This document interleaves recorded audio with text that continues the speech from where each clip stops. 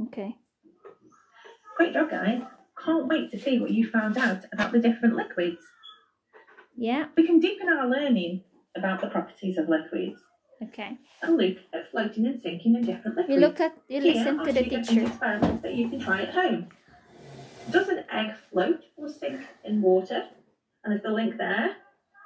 I know. I'd love to see some photographs or a poster that you've designed to show what you found out. What you found out, okay? I know it's six because What happens I've when you mix different good. liquids? Again, follow Let's the link just- and I look forward to seeing what you find out. Yeah. See what you found out, okay? So let's see how what you're gonna find out then. What is that you're holding? You, you tell us first. An first. egg. An egg. So what you're gonna do? So tell us what is you're going to do, Um, put it in the water. and then why? What are you trying to find out? If it floats or if it sinks. Okay, Eh, It sinks. it sinks. I, I know it sinks because uh, I've seen you cook some egg and then it, when you put it in the water, it goes down. Yeah, It sinks. it sinks. Okay. Yeah. So because the the egg is Is what is it? A solid or a liquid? solid in So the in the outside, but inside is is liquid, solid. yeah, liquid. Okay. You you crack the egg then Eh, a bit more. it's hard. I cracked the one before. You crack it How before. about in here? It cracked. Okay. Open it up. Okay.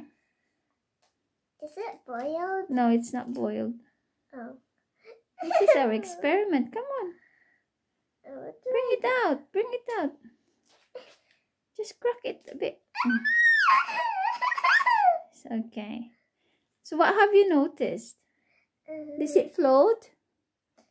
Um, The egg yolk, does it float? Looks like it, isn't yeah, it? looks like it's floating. Yo, you should you you move the the water. Is it floating?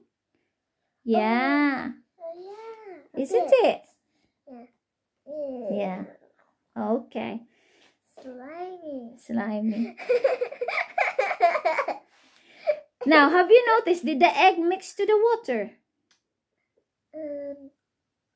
It didn't, isn't it? Yeah. It is still egg. Yeah. It's still an egg.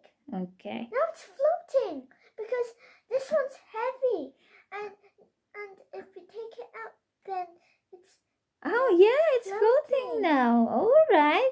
So that's what you found out then. The shell floats on its own. yeah. But when it is a, it is still intact, it won't float. Yeah. But if it is just the shell, it will float. Let it float then. Yeah. Is that what you learn? You learn? Yeah. Thank you. Okay. Look at me. Look at the say. Thank you, Mrs. Well, I don't know her name. Just thank you, teacher. Look. Thank you. You've done. You've done your science. You've discovered something, right? Yeah. Yeah. Okay.